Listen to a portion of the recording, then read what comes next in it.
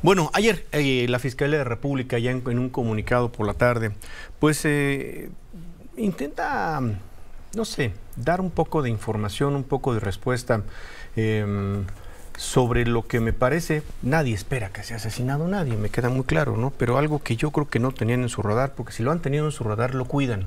Me refiero al delegado de la Fiscalía de la República, ayer asesinado en Chilpancingo.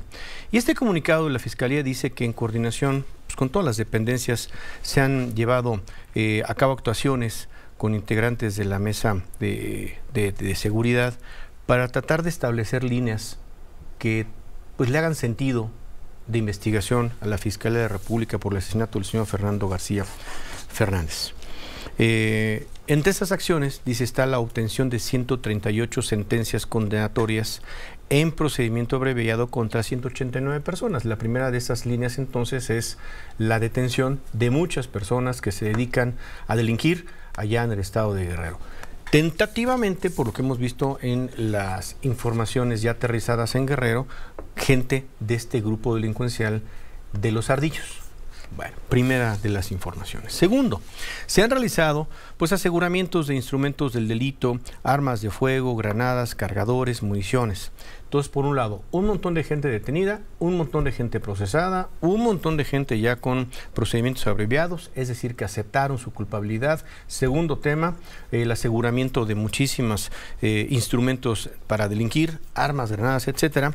Y el tercero, dice, además se ha logrado la detención de dos integrantes de un grupo criminal con presencia en Guerrero, este que le digo, Jesús E, Bernardo C, además de Lenin L, Paula C, Paula C, perdón, miembros de una banda dedicada al secuestro agravado, casos sometidos a conocimiento de la Corte Interamericana de los Derechos Humanos, por tratar de entender qué es exactamente lo que pasó.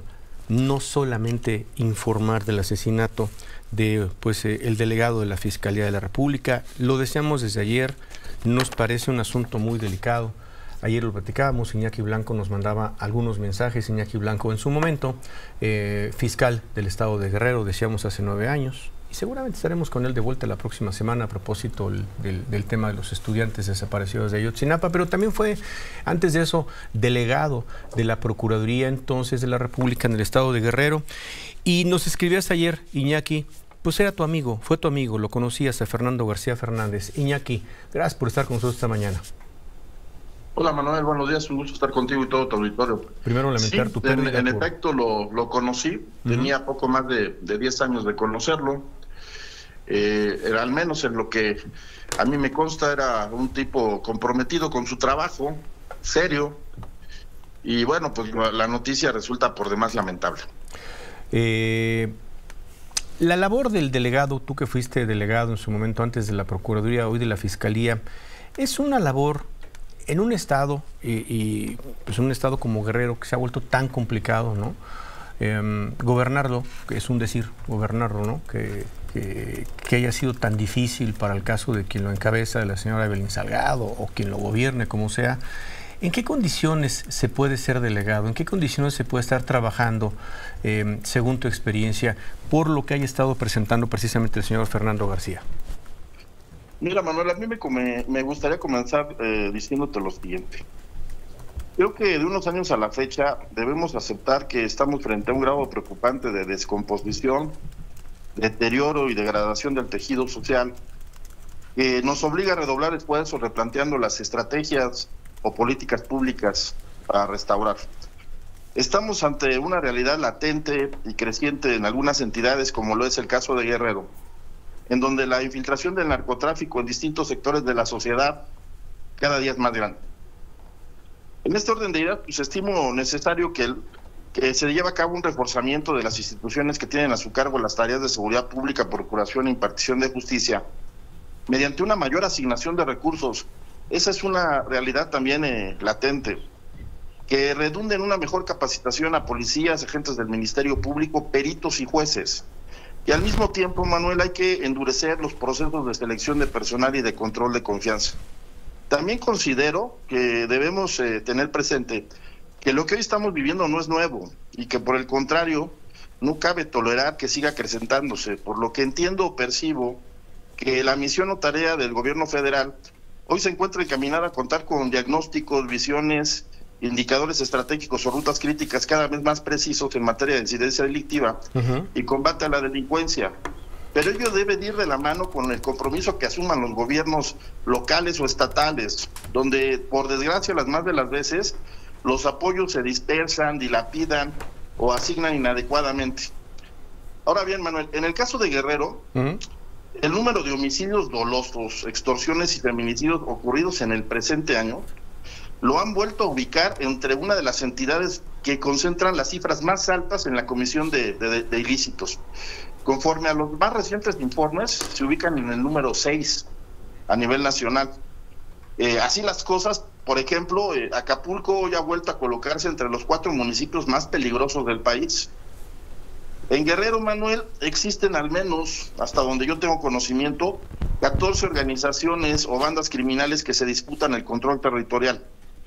Entre ellas está el cártel Jalisco Nueva Generación, los templarios, la familia michoacana, los caballeros, eh, los caballeros este, templarios, reitero, Guerreros Unidos o, la bandera, los rojos, los ardillos, los viagras y los cornudos. Oye, Iñaki, solo punto, 14 bandas, dijiste 14 bandas están disputando el Estado.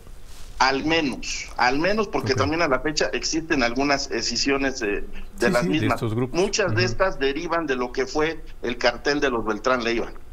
Ahora bien, detrás de lo anterior, Manuel, está el control territorial o la disputa sobre la producción, trasiego, distribución y venta de droga, el cobro de piso, la extorsión y los secuestros, por lo que debe generarse compromisos por fuero y autoridad. Y me parece que hay que dar un seguimiento puntual a su cumplimiento, difundiendo resultados o logros, que es lo que entiendo que hicieron eh, pues apenas ayer, porque de un tiempo a la fecha desconocemos qué tipo de acciones están emprendiendo para combatir a la delincuencia, tanto por parte de la Secretaría de Seguridad Pública del Estado como por parte de la Fiscalía de esa entidad. Ahora, hay otro aspecto bien importante eh, que también me parece eh, de llamar la atención y que, y que resulta inquietante y que no debemos soslayar. Son las manifestaciones de las bases sociales en favor de la delincuencia, como ha ocurrido y sigue ocurriendo en Guerrero. O el abierto desafío y confrontación de los criminales a las autoridades. Eh, manifestaciones que han traído consigo el ataque a instalaciones oficiales, el robo de vehículos, la quema de los mismos, la agresión y el secuestro de elementos policiales, restándoles a estos toda autoridad, los ataques a las vías generales de comunicación y el homicidio, como lo, como lo acabamos de ver, de servidores públicos estatales y federales, lo cual no tiene precedente, Manuel. Esto hay que tomarlo muy, muy en cuenta. ¿eh? Asimismo, creo que deben indagarse los supuestos o aparentes vínculos entre algunas autoridades y delincuentes. Más aún cuando sabemos también que hoy se cuenta con elementos probatorios, como son los videos difundidos en el presente año, los cuales, si bien es cierto, no son concluyentes, no menos lo es que deben dar lugar a indagatorias ministeriales para acreditar o desvirtuar relaciones de naturaleza ilícita. A mayor abundamiento y a manera de conclusión, yo te diría que pues hoy debemos contar con indicadores de zonas de conflicto, conocer a ciencia cierta el modus operandi de las organizaciones delictivas y sus estructuras a efecto de proceder a la identificación y detención de objetivos específicos o prioritarios que permitan su desarticulación y lo más importante, el exterminio de sus fuentes de financiamiento. Porque se dan detenciones, Manuel, pero no se atacan las fuentes de financiamiento, es, esto es los recursos tú realizas esas detenciones, se da lo que se conoce como el fenómeno de la atomización, surgen otras células u organizaciones delictivas y siguen operando en razón de que no erradicaste, de que no golpeaste su parte financiera. Porque a mí me da la impresión, eh, Iñaki, eso es solo la impresión, pues sí estamos acostumbrados a ver cómo eh, desafortunadamente para elementos de servidores públicos, quizá para policías municipales, eh, eh, estatales, ¿no? Pueden ser incluso fiscales de las eh, fiscalías, como lo vimos el fin de semana, como la de Guerrero, que puedan ser sujetos de la violencia, asesinados. Me parece que haber asesinado a un delegado de la Fiscalía de la República, en este caso de Guerrero, no sé si lleve mensajes, Iñaki, no sé si es un asunto de venganza, no sé si es un asunto nada más para mostrar el poderío de todos estos grupos delincuenciales que nos dejan claro que en el estado de Guerrero son muy poderosos, pero debe de significar algo.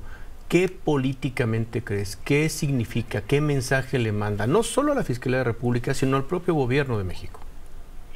Mira, no podemos especular por cuanto a lo que hay de, detrás del homicidio. Lo cierto es, reitero, que esto representa un desafío, una abierta confrontación, una minimización de las acciones llevadas a cabo por el gobierno. Y por lo mismo, repito, estamos obligados a replantear las estrategias y a redoblar esfuerzos. Se tiene que identificar bien a bien a quién se está enfrentando y cómo se le debe de combatir. Yo siempre he dicho, Manuel, que el combate a la delincuencia, además, no admite eh, acuerdos, pactos o alianzas. A la delincuencia la debes combatir de frente y debes de hacer valer la fuerza y capacidad del Estado, particularmente lo que conocemos como acciones de inteligencia. Y conste, Iñaki, que no lo estoy diciendo, este planteamiento que te hago, para sugerir que la persona que mataron, al señor Fernando García Fernández, estaba en algo ilícito, no ni de lejos, todo lo contrario, sino como un mensaje precisamente de fuerza, decir, este es tu hombre poderoso, pues este lo tumbamos, a este lo matamos, porque así de vulnerable te volviste. Sí, Me refiero a la institución. Te reitero, es un abierto desafío, es una confrontación más que abierta.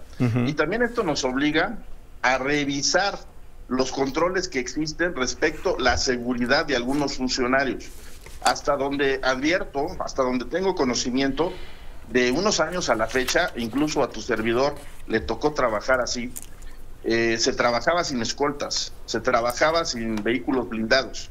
Y esto obviamente te vuelve aún más vulnerable y mucho más fácil y generas condiciones mucho más sencillas, mucho más fáciles para la delincuencia que puede atacarte o que pueda abatirte, como fue el caso.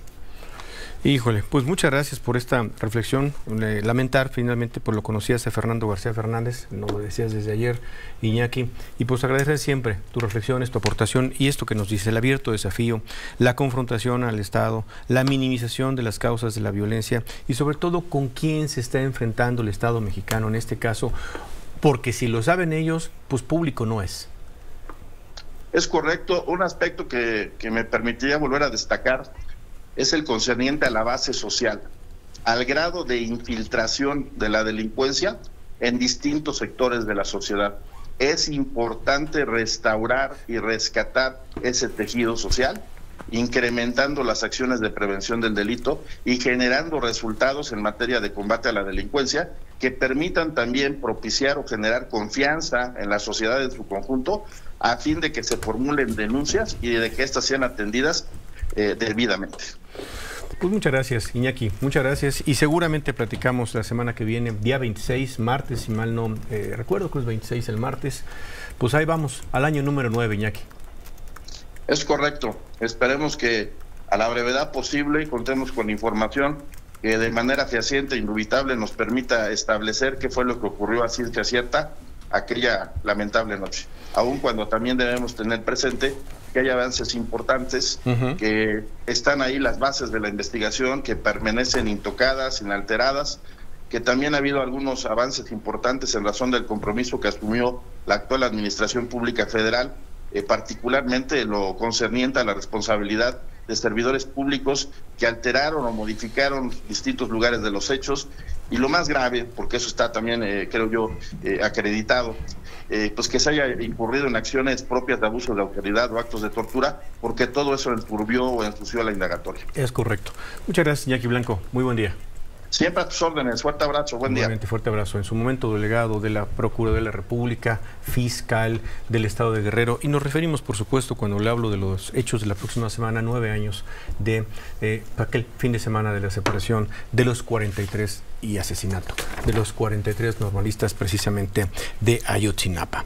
Bueno, em, y pues vamos a ver, vamos un poquito más adelante con nuestra compañera Guadalupe Gutiérrez allá a Chilpancingo a ver si las autoridades, si la fiscal, que bueno, pues la fiscal ha estado eh, teniendo que participar públicamente, ya es... Eh, mucho más discreta en su trabajo, más operativa, pero pues si tiene alguna información que pueda generar. Entendemos que por la naturaleza de los hechos pues pueda declararse en todo caso la declinación para que la Fiscalía de la República haga esta investigación, pero bueno, pues atentos un poquito más adelante.